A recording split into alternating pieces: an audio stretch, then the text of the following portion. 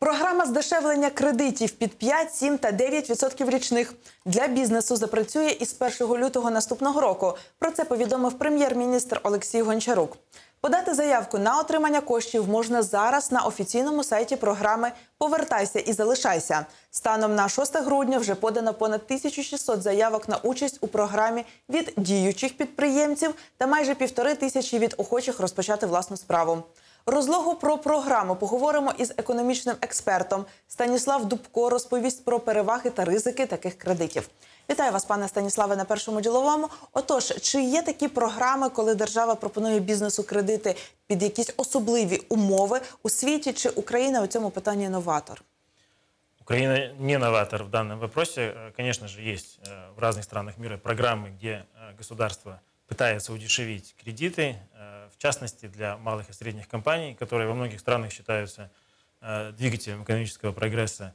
А, Правда, мы пока наверняка не знаем, э, будет ли это государство предоставлять кредиты, либо речь идет, допустим, о механизме э, компенсирования процентной ставки. То есть кредиты будут выдавать банки, а государство будет компенсировать банкам разницу в процентной ставке между рыночной, которая есть на сегодняшний день, и, как правило, превышает 20% годовых для большинства малых и средних предприятий, э, с тем, чтобы привести эту ставку в соответствие с задекларированными 5, 7 или 9 процентами. А як ви взагалом оцінюєте таку ініціативу е, керманича країни, президента, прем'єр-міністра щодо запровадження такої програми?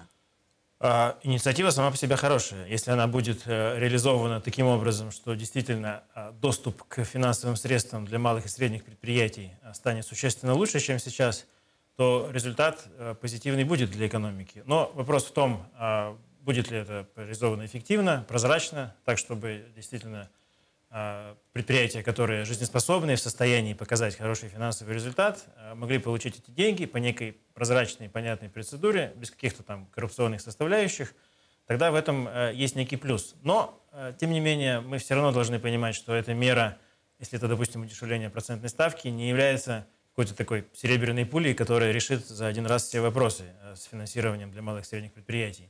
Дело в том, что средства на компенсацию процентной ставки в любом случае будут идти из госбюджета. Це якщо буде ухвалено таке рішення, Да, так? да. Но на самом деле я не предполагаю, что государство будет само предоставлять кредиты, этим будет заниматься там, не знаю, Министерство финансов, оно в принципе этим не может заниматься и не будет. Вряд ли будет создано, как мне кажется, специальное какое-то государственное финансовое учреждение, которое будет предоставлять именно кредиты как таковые. Это не совсем функция государства предоставлять коммерческие кредиты игрокам на рынке. На початку Програма- грудня Володимир Зеленський анонсував програму Повертайся та залишайся і назвав певні відсотки, хто може претендувати і за яких умов. Давайте послухаємо, а потім прокоментуємо.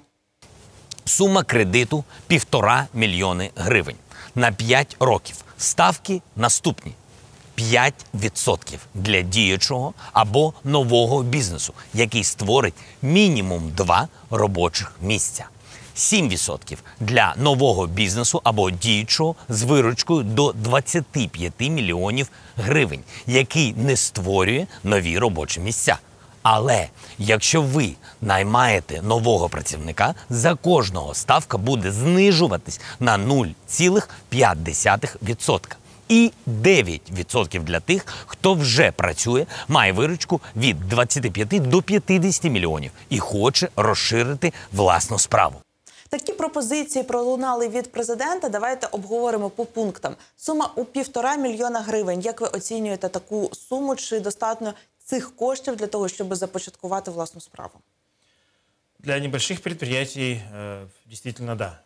Все-таки мы говорим про предприятия малого и среднего бизнеса. А, ма- Максимальный размер такого предприятия здесь в том числе определяется путем ограничения а, суммы его финансового оборота за год, то есть 50 миллионов гривен для 9% кредитов и 25 миллионов гривен – это годовой оборот предприятия, максимальный, возможный для получения кредита со ставкой 5 или 7%. В принципе, если у предприятия годовой оборот там, 20 миллионов, 10 миллионов, то в принципе там этот оборот может быть и меньше. Полтора миллиона гривен может быть достаточной суммой для того, чтобы начать бизнес или помочь развить этот бизнес, вынести его на более высокий уровень. Э, поэтому здесь, наверное, сложно говорить в целом, нужно говорить применительно конкретной там, ситуации, конкретному э, предприятию. Ну, Много давайте- это или мало? Давайте так: от 5% е, пропонують на 5 років півтора мільйона гривень для тих, хто створить мінімум два робочих місця. Е, Ваші прогнози, наскільки такий рівень е, бізнесу допоможе зміцнити українську економіку? Адже два робочих місця це не така велика кількість найманих працівників. Ну, на сегодня мы и не знаем э, размер этой программы, сколько средств планирует потратить э, государство на такое кредитование или на поддержку такого кредитования. Я еще раз скажу, что программа сформулирована как фактически создание условий для кредитования с такими ставками. Да? То есть, на мой взгляд, скорее всего, это будут не кредиты, выданные за счет государства, это не функция государства, а это будет компенсация процентной ставки. А, э, поэтому, не зная, сколько будет в бюджете заложено на эти средства, э, средств на, на- на эти цели, сложно говорить о, како- о том, какой будет эффект экономический в целом масштабах страны. А якщо в про- в бюджеті на 2020 рік передбачені видатки на компенсацію таких відсотків?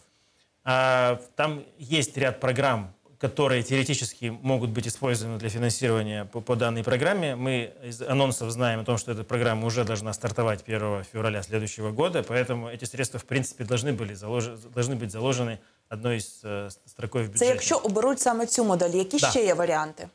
А, ну, в бюджете точно нет средств на прямое кредитование предприятий. Да? Поэтому, э, на мой взгляд, опять-таки, самый реалистичный, самый э, понятный и простой в реализации э, вариант – это э, компенсация процентной ставки по кредитам, выдаваемых банков. То есть кредиты выдаются за, за счет средств самих банков. Государству нужно потратить определенные средства для того, чтобы компенсировать часть процентной ставки.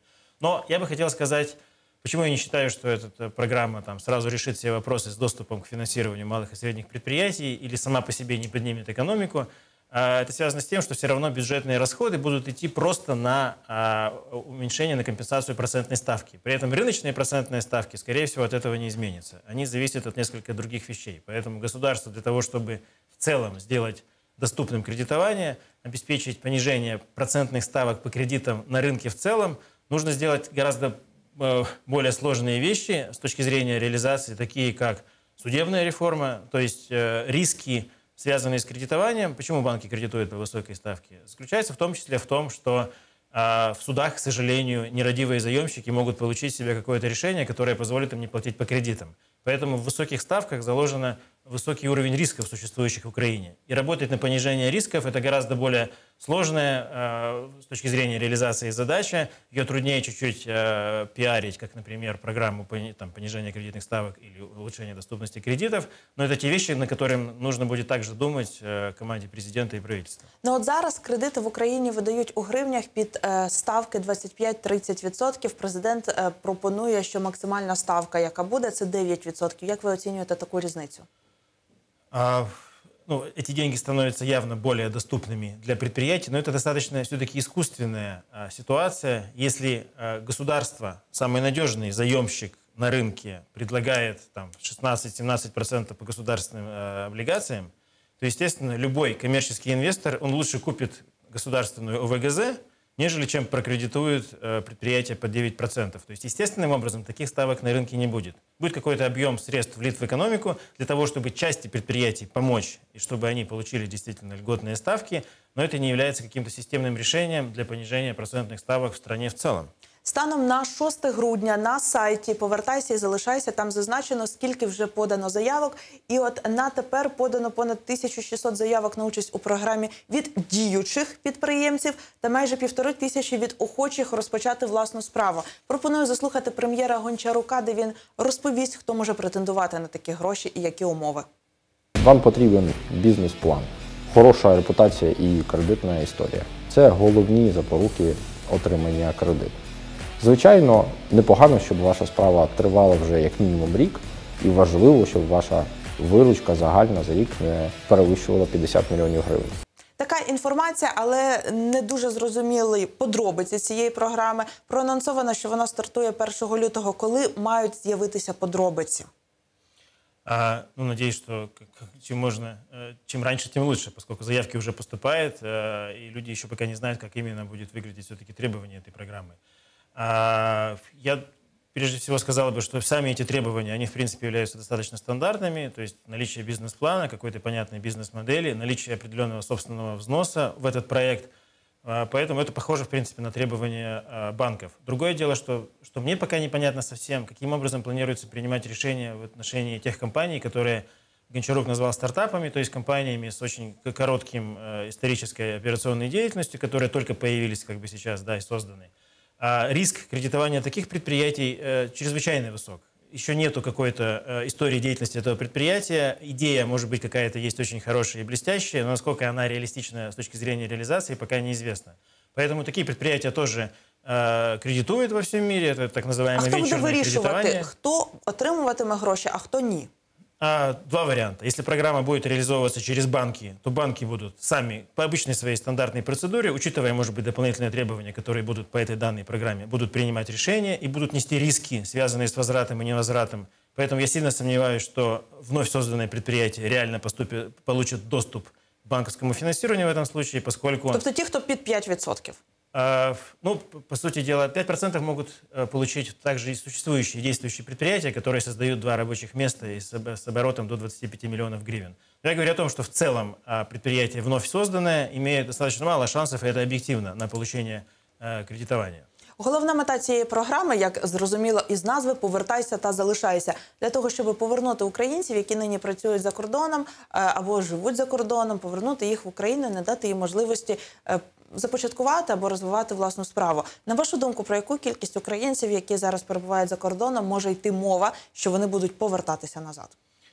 Я думаю, на этом этапе, э, не зная деталей программы, достаточно авантюристично, скажем так, какие-то называть конкретные цифры и прогнозы, да, это будет пальцем в небо. Поэтому э, я могу сказать, Це что... привабливі умови. Давайте так. Я хочу сказать, что а, это всего лишь один из факторов, который влияет на принятие решения. Доступ к дешевым кредитам, безусловно, очень важен для бизнесменов, и это один из важнейших факторов. Но качество судебной системы, открытость рынков, а, зарегулированность или незарегулированность, а, собственно, ведения бизнеса как такового, состояние рынка, в том числе его платежеспособность, то есть экономическая ситуация в стране, все эти факторы также не менее важны. Поэтому... А наскільки ці кредити дешеві, от як ви говорите? Давайте для порівняння у європейських країнах скільки який відсоток е, люди можуть взяти кошти у кредит?